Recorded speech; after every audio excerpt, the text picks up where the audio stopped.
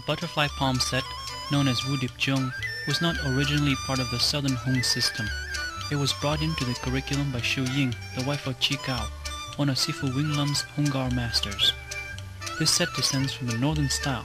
It was added to compensate for the overemphasis of power in Hung Gar by introducing speed and fluidity.